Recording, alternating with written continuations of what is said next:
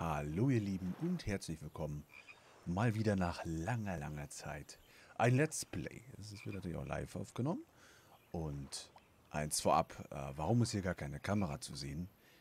In diesem Spiel ist der Fokus einfach auf das Spiel. Nicht auf mich oder irgendwas, sondern reiner Fokus. Last Day of June. Ah, der letzte Tag von June. Und hm, wir sind schon an der bisherigen kleinen künstlerischen Art. Wir müssen uns wahrscheinlich einiges ein bisschen selbst ausmachen und die Emotionen und sonstiges mit übernehmen. Ich kann nicht spoilern, weil ich nicht wirklich was kenne und es könnte durchaus gefühlvoll werden. Das muss man mal sagen. Ich habe bloß grob gelesen, auf was uns erwartet, damit ich natürlich weiß, was hier passiert. Also, worum geht es eventuell und was wird passieren? Lange Rede, kurzer Sinn. Wir beginnen. Äh, sollte es auch nicht ganz hinhauen, ich werde ihn gleich rotieren. Doch jedenfalls geht's jetzt mal los mit der Geschichte.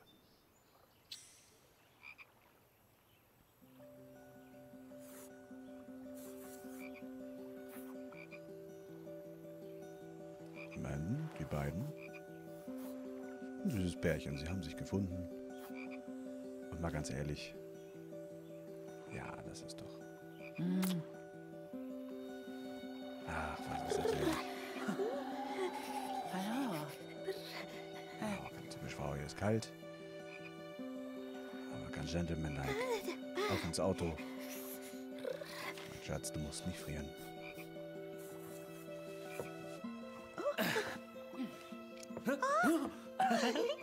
Ja, ein bisschen knetzig auf die Beine, aber so sind verliebte Paare. Über alles lachen und... Oh. Oh, oh, wir steuern jetzt. Entschuldigung, das... Da, äh... Ah, Entschuldigung, jetzt verstehe ich natürlich. Wir sind er und wollen jetzt natürlich möglichst die Jacke holen, aber der Weg dahin... Ah, guck mal, mit einer Blume. Das sind einfach die Männer von heute. Wir... Die Frage, bringen wir erst die Blume? Oder sollten wir oh, unser June... Ja, erst Jacke. Hier ist bestimmt kalt. Aber wir sehen schon... Aber so sieht es. Ist schon der perfekte Ort. Um wirklich ein verliebtes Pärchen in einen Spielplatz am Fluss, wo man einfach mal sagen kann, das Ganze passt, das haut hin. So muss es sein.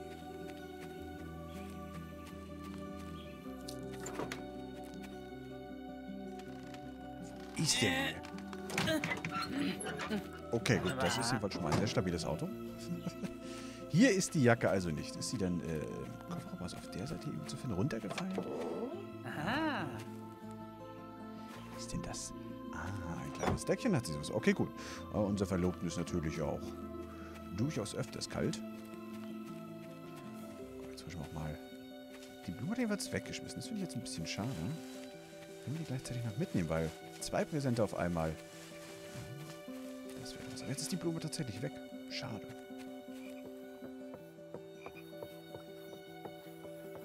Aber erstmal bist du mir wichtiger, Schatz.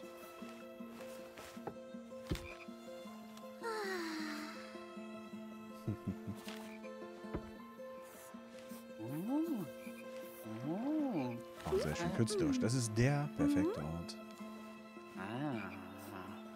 wirklich Inspiration zu holen. Hey! Schaut mal an. Hallo.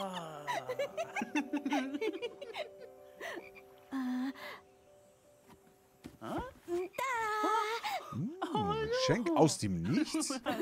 Okay, ich, ich habe so eine gewisse Ahnung. Erstmal wunderschöne Zeichnung. Alles gut. Doch. Sieht aus, als wenn das Geschenk eher eine Überraschung ist.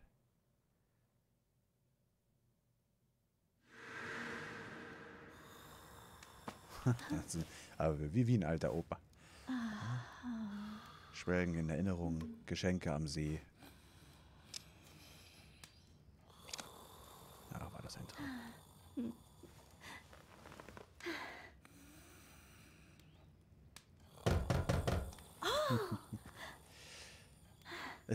Es wirkt schon fast ein bisschen zu, zu heile Welt, muss man einfach sagen. Das ist natürlich auch. Ach, herrlich, wenn er mal Wunschdenken hätte, natürlich. So ist doch eigentlich das Leben. So wünscht man sich doch. Das ist so Bilderbuch. Aber erstmal, wer stört denn da jetzt, ne? Mensch, wir sind so verliebt. Oh, ein Geschenk vom Opa findet. Oh, hey, wir haben einen kleinen Jungen. So wie es aussieht. Das heißt, das ist wahrscheinlich der Papa. Hat der heute vielleicht Geburtstag und dafür nehmen sie sich Zeit? Und alle denken auch an ihn.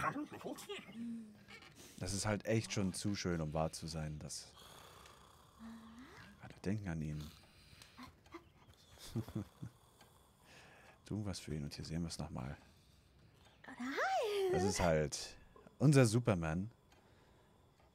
So wie er sein sollte. Das ist, es ist herrlich. Er ist sowas von dünn, kann sich hinter jeder Laterne verstecken, aber dann. Er ist doch einfach der Superheld. Es ist einfach der, der Supermann und wir sehen es auch hier an diesem Bild. Es ist einfach ein Pärchenausflug. Sie liest gerne Buch, sie malt gerne. Sind in der Natur unterwegs und er genießt es einfach, bei ihr zu sein. Und ihr das Ganze natürlich auch schön zu machen. Blaues Geschenk niederlegen möchte ich aber auch gerne hier nochmal. Da sehen wir das. Das ist also die ganze Familie. Da scheint er noch. Ist das die Schwester oder die Mutter neben? Ich kann es gar nicht genau sagen. Und hier vorne der kleine Junge hier jedenfalls, der gehört auch zur Familie. Und wie wir schon richtig geahnt hatten, das ist der Opa, der noch mit dabei ist. Ein kleiner Vogel. der auch noch hier mit bei uns gehört. Ja, wie wir schon richtig ahnten. Also das ist mal eine Künstlerin. Mitten in der Natur. Absolut cool. Also das ist halt, so würde ich auch gerne mal einfach nur streamen, mitten aus irgendwo der Natur und dann frei raus. Aber das ist halt mit Zeichen natürlich einen ganzen Ticken einfach. Wir können das Geschenk hier hinlegen. Können Sie auf dem Ofen? Nein. ganz, ganz kurz. Das ist somit, also J heißt natürlich June. Das steht entsprechend für mich jetzt, für die Frau. Aber wir werden das Geschenk hier hinlegen können. Eventuell können wir es auch woanders hinlegen. Und vor allem, was würde es auslösen? Hier sehen wir schon, ist also... Wow. Das ist jedenfalls die Künstlerwerkstatt. Ich sag mal so, künstlerisch. Also da kommt ja mal gar nichts ran. Das ist halt...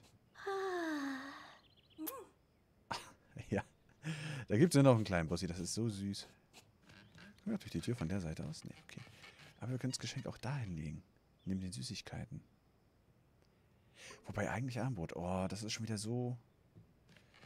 Ah, wie, wie man es macht, man macht es verkehrt. Ihr wisst es ja, ne? Das ist... Aber jetzt gucken wir mal oben, wenn es dann doch Richtung Bett geht. Könnte ich sie auch irgendwo verstecken? Okay, das ist jetzt auch noch eine Künstlerin. Ach, das ist ein Haus, das ist Wahnsinn. Teilweise mit Stein.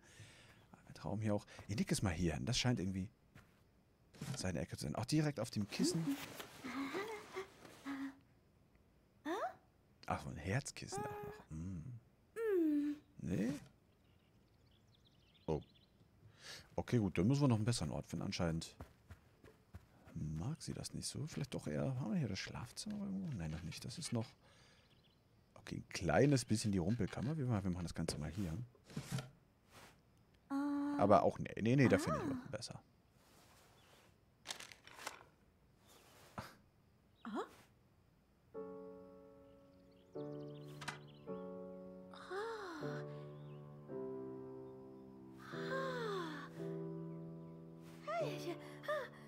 Und da kam mir der Gedanke,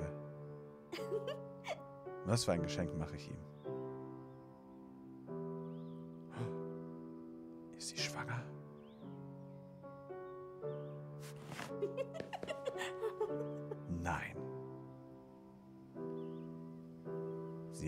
Bereits einen kleinen Jungen, Hund, ein Haus, also eine Familie, so wie du sie haben möchtest und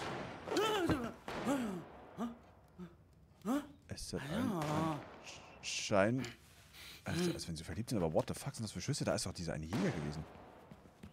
Was ist denn da los? Nein, sie ist doch am Haus, die June, oder?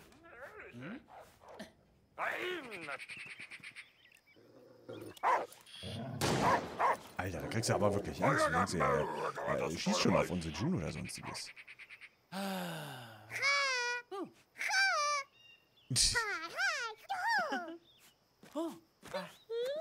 Ja. Ja, ja. Ja, ja, such, such, dir wieder anders. das okay, jetzt dürfen wir mal auf, der, auf der Suche nach June. Und ich würde sehr gerne mal sehen, wie er auf die Bilder reagiert. Okay, also ist auch erstaunt, aber jetzt hier. Ah, ja. Oh, schöner Körper, ne? Ja. Okay, hier ist ja schon mal nichts. Kann schon mal das Essen vorbereiten. Das- wäre auch mal ein Job, den auch jedermann tun kann. Ne? Es ist ja, um 3, 15 Uhr also. Hm. Ja, ein, bisschen, ein kleines bisschen wortkarg. Aber komm, jetzt gehen wir. Komm, wir können doch nicht lange warten. Wir wissen doch, was wir sehen wollen. Ah.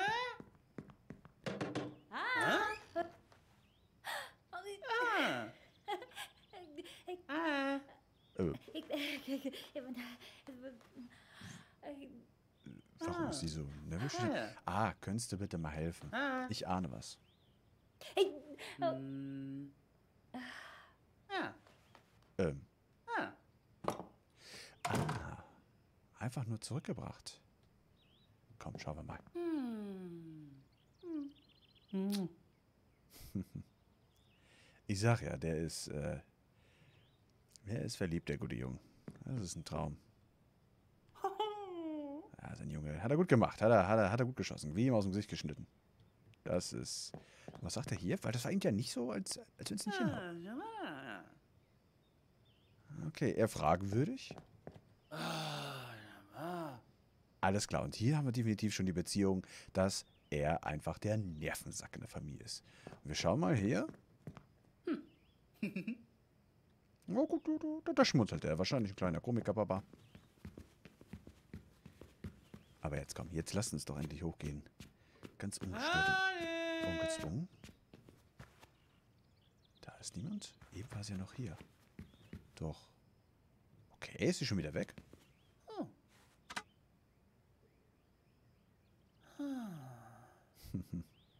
Es ist halt mega schön zu sehen, wie gerade in der heutigen Zeit die Menschen einfach auch mal zurückschauen müssen und einfach realisieren auf das, was sie haben und nicht immer mehr, mehr, mehr. Man will immer das, was man nicht hat. Es ist so schlimm und deswegen ist es sehr herrlich zu sehen, dass gerade mit dem, was wir nur in diesen paar Minuten sehen, dass es einfach traumhaft ist. Überraschung, raus aus dem Leben, Alltag hinter sich lassen. Ah. Ah,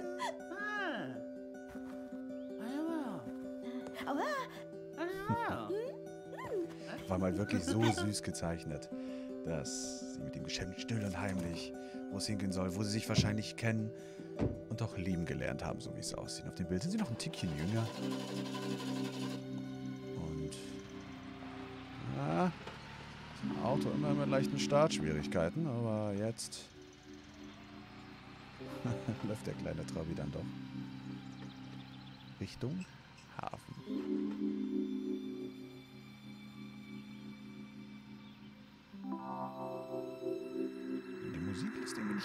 Ganz so Gutes an. Es ist sehr bedächtlich oder vorsichtig, möchte ich ja schon fast sagen. Aber ich weiß gar nicht, ob unser, ob unser Süßer hier überhaupt weiß, möglicherweise sch schwanger, sonst oder was ist da los? Ah, ja. Reiß auf! Ah, ja. So, aber ab zum Auto. Das am schönen Tag wie diesen. Auf geht's.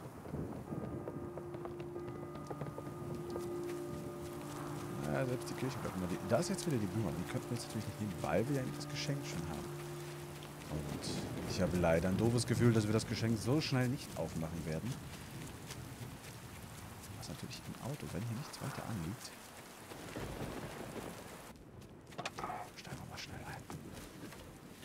Na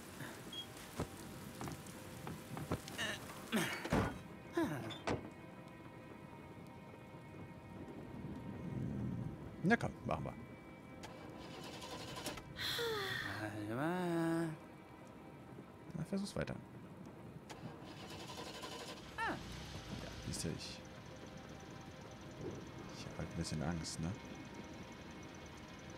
Es kommt ja kein Auto, aber ich habe echt so das Gefühl, äh, aber auch keinerlei Signale, sage ich jetzt mal, dass unserem süßen Pärchen hier was Böses passiert, aber mir graut das ein bisschen, ich bin ganz ehrlich. Ach, ich lenke jetzt auch noch selbst. Ähm. Oh, okay, das muss man jetzt selbst machen. Ja, Entschuldigung, das hätte ich das wohl gewusst.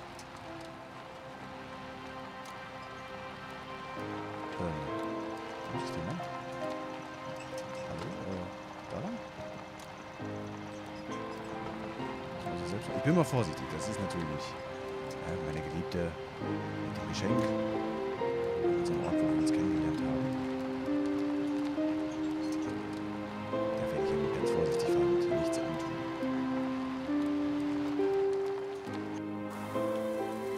So, auf geht's nach Hause.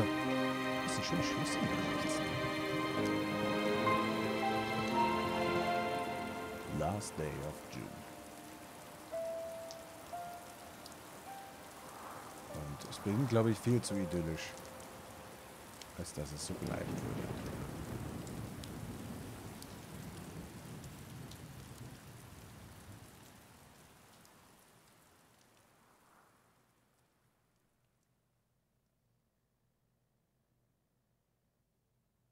Aber es ist halt schon echt sweet. Man muss ja auch bedenken, dass die Weise so frisch verliebte. Und dann, ja, so kleine neckische Sachen. Und mal ganz ehrlich, da freuen wir uns doch alle drüber. Es sind halt die kleinen Dinge und nicht immer nur die riesen mega Geschenke, sondern eine liebe Aufmerksamkeit. Du gehst zur Arbeit, merkst plötzlich, dass du einen Zettel in deiner Taschenjacke hast, wo drauf steht, ich liebe dich. Oder so eben wie hier, wo er ganz verliebt natürlich die Decke Sofa vom Auto holt.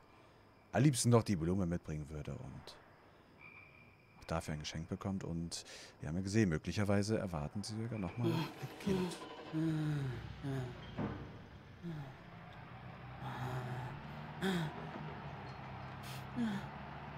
Okay, hat irgendwie Albtraum mit Autogeräuschen.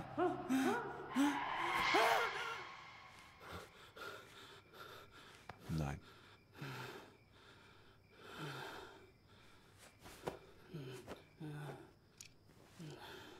Oh nein.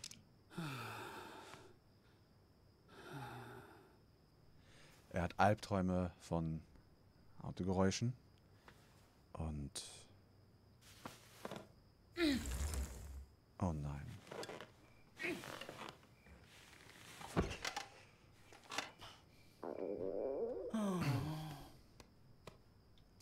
Das heißt also, also ziemlich eindeutig, dass er, so wie es aussieht, seine geliebte Frau beim Verkehrsunfall eventuell verloren hat. Es sind keine Bilder mehr da. Es ist nichts von ihrem Haus. Alles, was vorher war, ist einfach nicht mehr. Die Welt ist zerstört, so wie es aussieht. Und auch ich, muss sagen, hat er ganz schön selbst mit dem Rollstuhl auch so schwer verletzt zu sein und wieder ein leerer Kühlschrank. Ich glaube, in solchen Situationen mehr als verständlich. Nur, wie, wie willst du hier halt einfach auch leben oder vorangehen? Du warst vorher immer zu zweit. Sie haben alles zusammen erlebt. Dick und dünn. Und jedes Tag jährlich diese scheiß Erinnerung und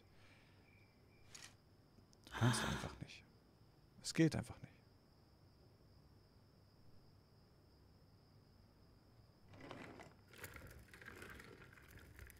All die Erinnerungen. All die Möglichkeiten. Plötzlich ist alles so unerreichbar. Wir sehen es. Ein Schicksalsschlag. Ein kleiner, verdammter Schicksalsschlag.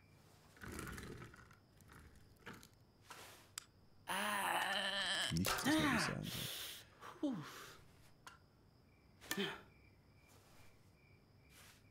Ja, wunderbar. Oh Mann. Er muss durch die Tür, denn da liegt der Öffner, wie wir ja vorhin gesehen haben.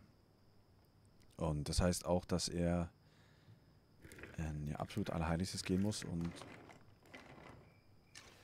möglicherweise da alle Erinnerungen sind, die nicht mehr in dieser Wohnung sind.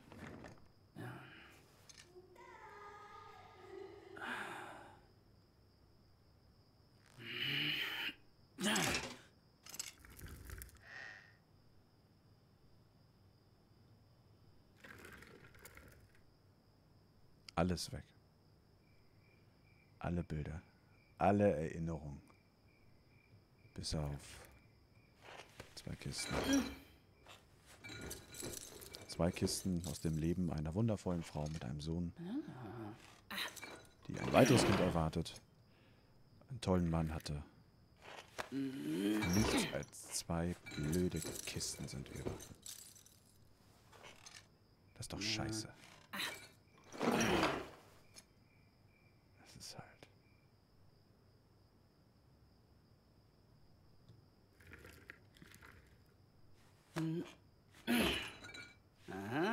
So. Ja. Immerhin hat er gefunden, was er gesucht hat.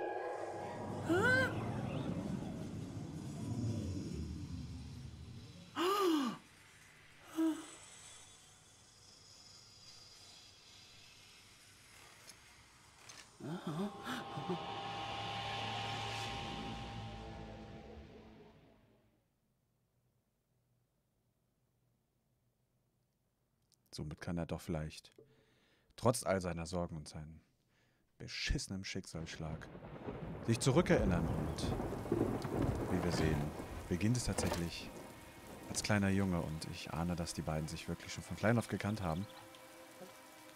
Oh, das ist ja unser Hund. Sind wir jetzt eventuell der Kleine? Schnell ausrasten, schnell weg. Komm, weg von unseren Eltern. Auf jetzt, den Ball holen.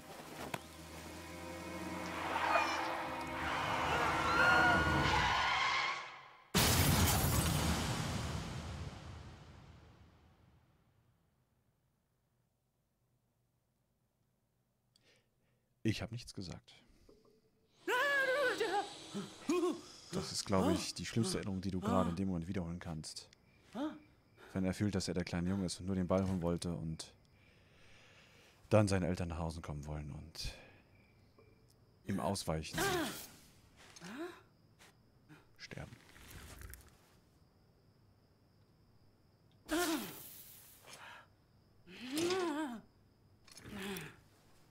Und so wie es aussieht, ist die Erinnerung noch nicht so weit.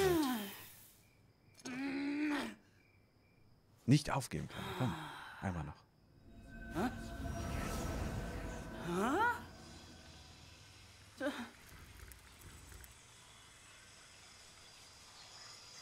Oh. Was? Warte mal.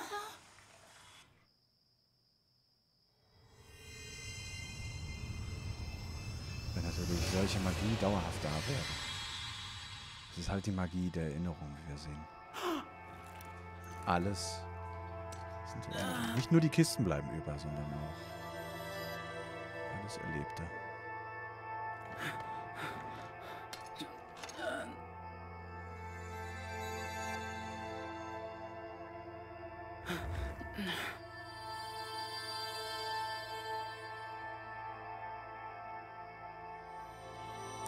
Das ist wohl auch in solchen Situationen das Einzige, was einen halten kann, was einen aufrechterhält.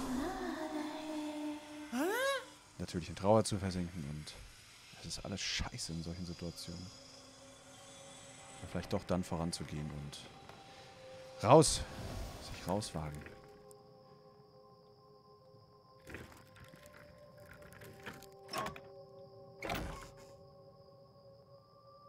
Es ist halt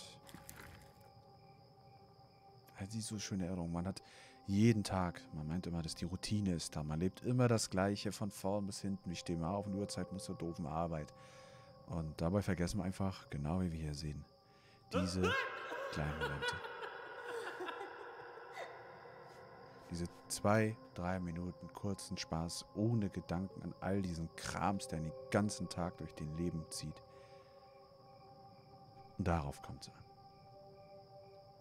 Genau das, was wir hier sehen. Diese Erinnerung. Einfach diese Beisammensein. Diese Beisammenkeit, Zweisamkeit.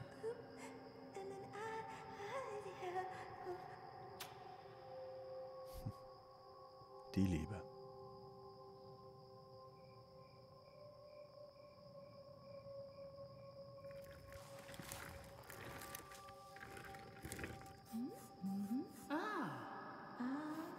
Und natürlich auch die Familie.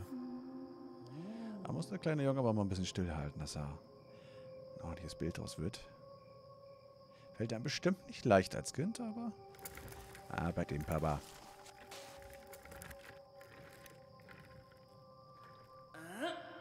Da sehen wir es. Doch kommt er an die Blume, die wir vorhin leider, man sagen, fast versemmelt haben. Ist dann da und... Habe fast schon ein bisschen Angst, dass wir hier zu weit Richtung Straße gehen und...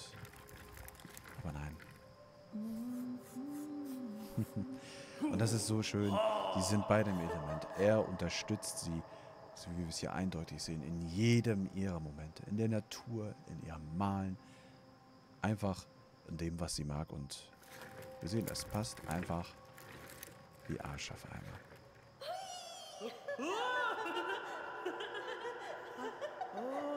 Guckt mal genau hin, welche Form sie ergeben.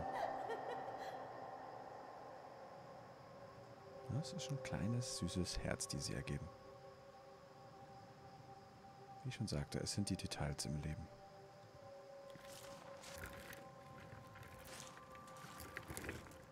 Also,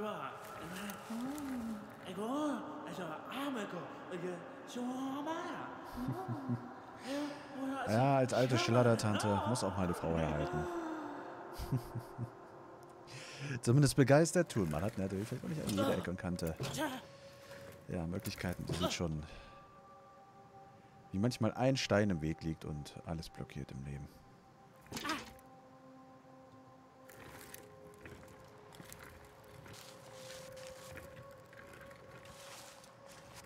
Erinnerungen sind leider traurigerweise meistens das, was übrig bleibt, wenn wir solche Schicksalsschläge wie diesen erleben. Das tatsächlich auch noch durch das eigene Kind vor Augen hast, was fast überfahren wird und du derjenige bist, der fährt. Doch hier wollen wir uns noch mal ein bisschen aus der Sicht einiges anschauen. Oder auch nicht.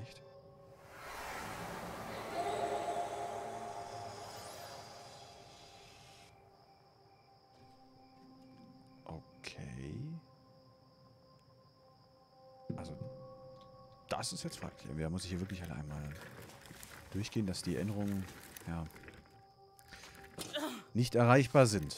Wie ich schon wieder sagte, ein Stein und...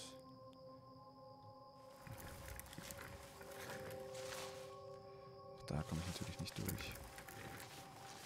Wir versuchen mal ums Haus, weil die Geschichten sind ja nicht immer vor der Tür. Hm, Ja. Okay, wir probieren es dann doch einfach mal von drin und sehen uns einfach die erste Erinnerung an. Was ihm einfach auch einfällt als Erinnerung zu dem kleinen Jungen. Vielleicht natürlich nicht so nur was Schreckliches im Leben, wie wir es ja gesehen haben.